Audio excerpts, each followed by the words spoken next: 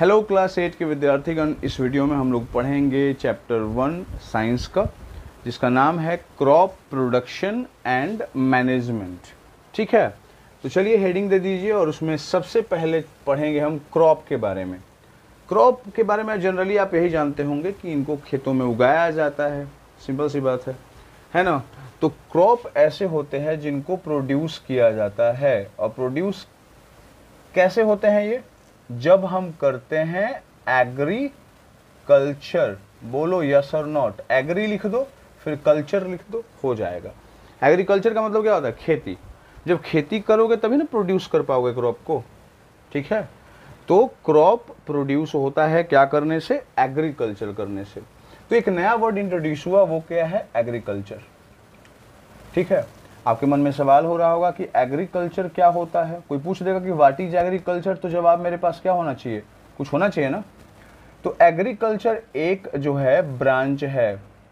Branch of biological science biological science ठीक है? जैसे साइंस में तीन ब्रांच होते हैं ना फिजिक्स केमिस्ट्री बायोलॉजी तो फिजिक्स में हम नेचुरल फिनोमिन के बारे में पढ़ते हैं। केमिस्ट्री के बारे केमिस्ट्री में केमिकल्स के बारे में पढ़ते हैं और बायोलॉजी में लिविंग थिंग्स प्लांट्स और एनिमल्स के बारे में पढ़ते हैं। तो साइंस को मेनली दो भागों में बांटा गया एक फ़िज़िकल साइंस एक बायोलॉजिकल साइंस फ़िज़िकल साइंस में नॉन लिविंग थिंग और बायोलॉजिकल साइंस में लिविंग थिंग के बारे में पढ़ा जाता है। यहाँ पे कौन सा है? बायोलॉजिकल लिविंग थिंग सिंपल सी बात है प्लांट्स क्या होते हैं? लिविंग थिंग होते हैं। तो ये बायोलॉजिकल साइंस में ही आएगा। ठीक है ना? विच डील्स यानी जिसमें हमको पढ़ना है है ना, या जो बतलाता है, क्या बतलाएगा हमें? इसमें हमको क्या पढ़ना है? Cultivation of soil cultivation of soil है ना? And rearing of animals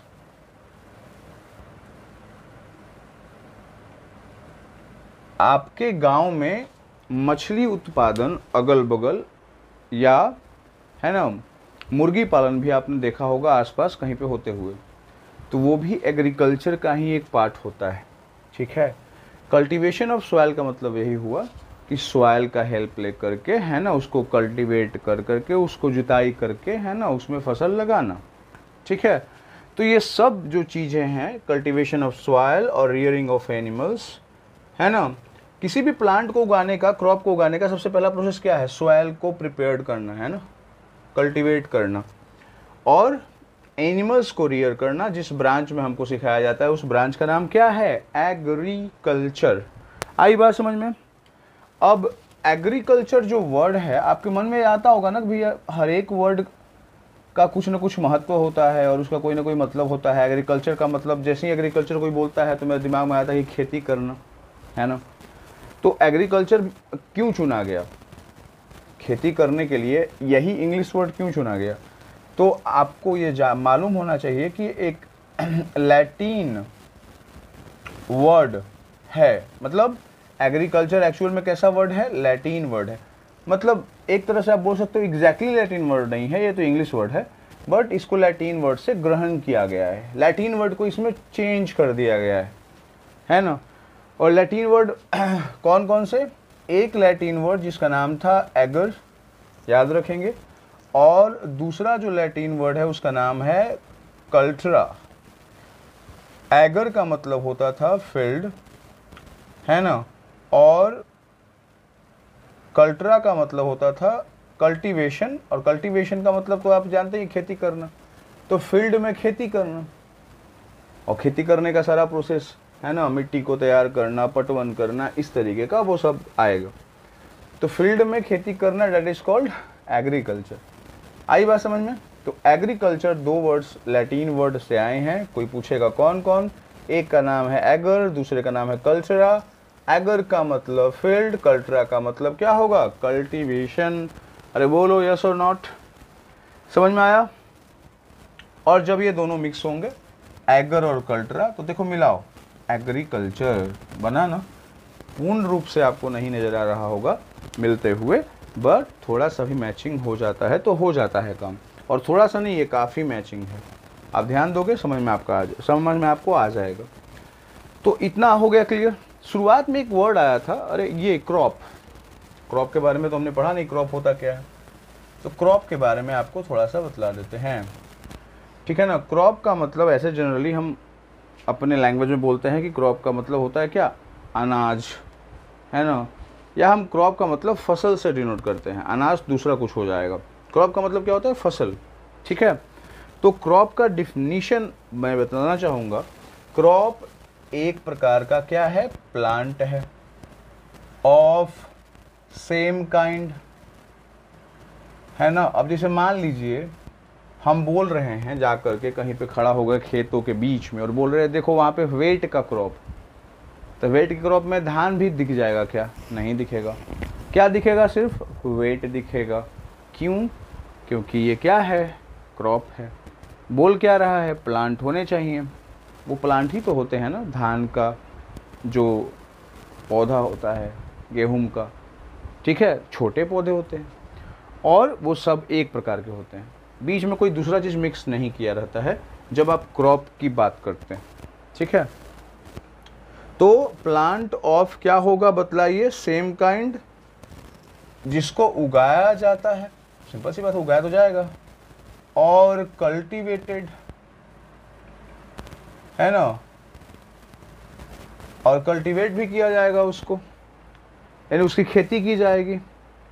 in large quantities और मात्रा क्या होगी? बहुत बड़ी मात्रा होनी चाहिए, तभी उसको क्रॉप कहेंगे। तो जनरली जो होता है ना क्रॉप बड़ी मात्रा में ही किया जाता है। प्रोडक्शन ठीक है ना? क्रॉप का प्रोडक्शन बड़ी मात्रा में ही होता है। सब्ज़ी थोड़ी है कि एक कट्ठा ज़मीन में या दो कट्ठा ज़मीन में उगा दिए क्रॉप उगाने के लिए एक बड़ा एरिया की ज़रूरत पड़ती है। ज़रूरी नहीं है कि हर बार आप बड़ा एरिया यूज़ करते हो, बट जनरल बात ये कही गई है कि बाकी फ़सलों के मुकाबले, है ना लार्ज क्वांटिटीज़ में क्रॉप को उगाया जाता है। बोलो यस और नॉट सिंपल सी बात है। है ना? तो क्रॉप क्या होता है? एक पौधा होता है। ऑफ़ सेम काइंड प्रकार क्या होता है? एक ही तरह का ग्रोन जिनको उगाया जाता है। कल्टीवेट किया जाता है लार्ज क्वांटिटीज़ में, बड़ी मात्रा में। तो इस तरह के जो पौधे होते हैं, उनको कहा जाता है क्रॉप।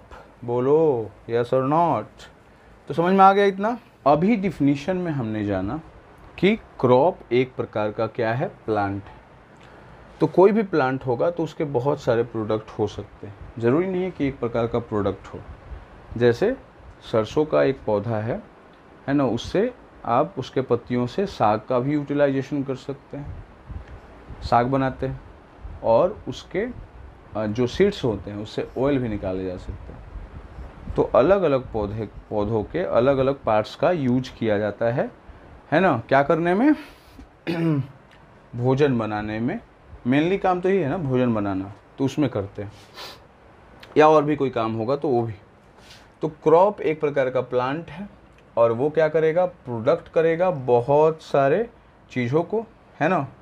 तो उसको प्रोडक्ट ही एक्चुअल में बोला जाएगा और ऐसे जनरल नाम उसका होता है, उसको बोला जाता है क्रॉप प्रोड्यूस यानी कोई भी क्रॉप है ना?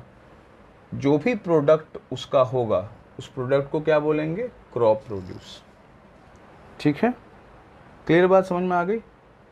अब आपके मन में आ रहा होगा कि क्रॉप प्रोड्यूस क्या है? अगर एक आध एग्ज़ाम्पल दे दिया जाए तो क्रॉप प्रोड्यूस में कुछ भी हो सकता है, कोई एक प्रकार क्रॉप प्रोड्यूस का नहीं है, वो क्या हो सकता है?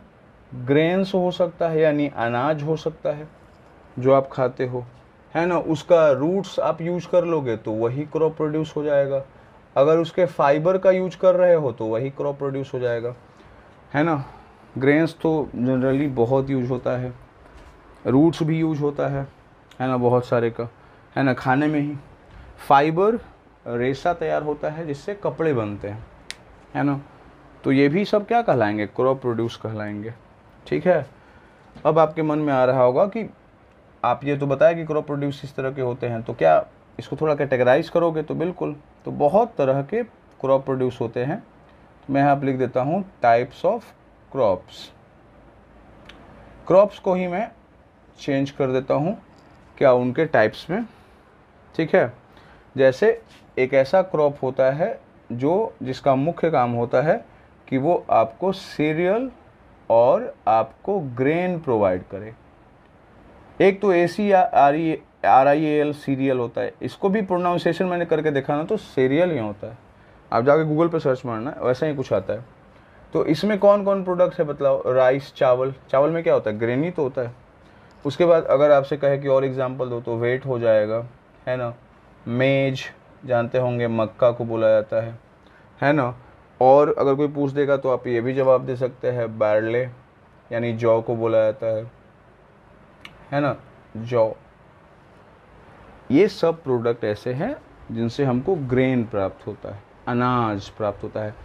मेन तो यही है, क्या? उसके बाद फाइबर क्रॉप ऐसे क्रॉप, ए हो गए कौन से क्रॉप? सीरियल्स सीरियल्स और ये कौन से क्रॉप हुए? फाइबर, जो आपको फाइबर देते हैं। जैसे जूट का पौधा आपको फाइबर देता है है ना? या कॉटन का पौधा आपको फाइबर देता है। पहले ज़माने में जूट का जो है प्रोडक्शन गाँव में, हर गाँव में हो जाता था, है ना? पानी की उतनी कमी नहीं थी, क्योंकि इसके प्रोडक्शन में पानी की बहुत उपयोगिता है। तो जूट उगाया जाता था किसी भी खेत में और उसको फिर काट करके, पानी में फेंक करके एक तरह से उसके जो ऊपर छिलका होता है ना, उसको बाहर निकालने के लिए, है ना, उसके अंदर वाले जो हार्ड पार्ट है उसको सड़ाया जाता था। ये प्रोसेस एक था, आप अपने घर पे जा कर के दादाजी से पूछेगा वो आपको बतलाएँगे। और उसी से सारा पगहा बनता था। पगहा जानते हैं ना, पौधों पौधों बोल रहा हूँ जानवरों को बांधने के लिए जो यूज़ होता है तो पहले ख़रीदना नहीं पड़ता था। आज तो कोई मतलब बांटता ही नहीं है रस्सी, है ना? तो लोग खरीदते हैं। पहले ख़रीदना नहीं पड़ता था, क्योंकि सब कुछ वो खुद तैयार करते थे। ठीक है? This is called fibre crop आई बात समझ में?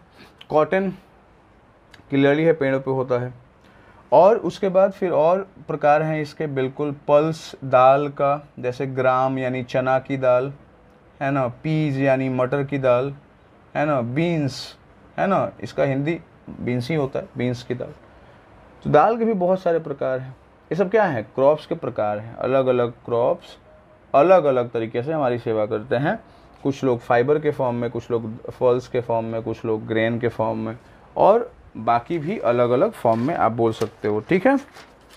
उसके बाद नेक्स्ट बहुत सारे ऐसे भी पौधे हैं जो हमें प्रोवाइड कराते हैं ऑयल है ना? यानी एक तरह से, क्या बोलते हैं उसको? तेल, है ना? तो तेल का तो बहुत सारे लोग बता सकते हैं। जैसे मस्टर्ड सबसे इम्पोर्टेंट तो यही है, घर में यूज़ होता है। गाँव में एकदम ज़्यादा। सरसों का तेल, ठीक है? कल ही, नहीं, कल नहीं, आज पे ला के लाया हूँ मैं, सरसों का तेल। ग्राउंड नट ग्राउंड नट सुने होंगे? मूंगफली का तेल, ठीक है ना? उसके बाद सनफ्लावर सूर्यमुखी का तेल। तो ये सारे क्या है? प्रकार हैं ऑयल के। ठीक है? अब इसमें जितने भी सीरियल्स क्रॉप थे सीरियल क्रॉप थे या ग्रेन थे, ये सोर्स होते हैं किसके? कार्बोहाइड्रेट के। यानी इनको खाइएगा तो आपको जो न्यूट्रिएंट्स मिलेगा, वो कार्बोहाइड्रेट मिलेगा। आपके मन में एक सवाल आ रहा होगा कार्बोहाइड्रेट क्या होता है? एक प्रकार का न्यूट्रिएंट्स होता है। और कैसा न्यूट्रिएंट्स होता है? ऐसा न्यूट्रिएंट्स होता है जो प्रोवाइड करता है क्या? एनर्जी क्या देता है? एनर्जी और कैसी एनर्जी तत्काल एनर्जी खाइएगा एनर्जी फील होगा. इसीलिए तो जनरल भोजन में इनका यूज़ होता है। रोज़ खाते हैं इन्हें। डेट नहीं है फिक्स रोटी खाते हैं ना भाई? तो वेट खाया हमने। ठीक है? तुरंत एनर्जी देती है। क्योंकि डे लाइफ को करने के लिए डेली लाइफ में जितने भी प्रोसेसेस हैं, उनको करने के लिए, जैसे पढ़ाना है, या आपको पढ़ना है, या खेलना है तो इनके लिए एनर्जी चाहिए। तो कैसी एनर्जी चाहिए? तुरंत जो मिल जाए तो ये इंस्टेंट आपको एनर्जी देता है। तो कार्बोहाइड्रेट ठीक है? ये तो जाने कि आपको क्लॉथ बनाने में यूज़ होता है। पल्स जो होता है, वो जनरली आपको देता है प्रोटीन प्रोटीन का बहुत बड़ा सोर्स है, और उनके लिए ज़्यादा जो, क्या है नॉनवेज नहीं है। जो वेजिटेरियन है, उनको पल्स प्रोटीन बहुत ज़्यादा प्रोवाइड करता है। ठीक है? तो ऐसा नहीं है कि आपको नॉनवेज खाना पड़ेगा, है ना? अगर आपको प्रोटीन चाहिए तो आप पल्स से भी ग्रहण कर सकते हैं। उसके बाद आपके यहाँ पर मैंने लिखा था ऑयल के बारे में। तो इसका जो मेन जो ये प्रोडक्ट है, ये आपको प्रोवाइड कराता है फैट, है ना? यानी अगर आप घर में जाते होंगे तो घर पे माँ जो है या पिताजी या कोई भी आपको डांटता होगा, जब आप कोई भी ऑयली चीज़ खाते होंगे तो है ना? तो किसी भी चीज़ में अगर ऑयल यूज़ किया जा रहा है बहुत ज़्यादा तो आपके शरीर को वो फैटी कर सकता है, क्योंकि उस नाम ही है उसमें क्या है भाई? कौन सा न्यूट्रिएंट्स है फैट है? ठीक है? तो ऑयल जो है वो सबसे बड़ा सोर्स है किस न्यूट्रिएंट्स का फैट का, और फैट को क्या बोलते हैं? फ्यूचर एनर्जी गिविंग फ़ूड यानी ये आपका शरीर में स्टोर हो जाता है, बाद में इस एनर्जी का यूज़ किया जाता है। ठीक है?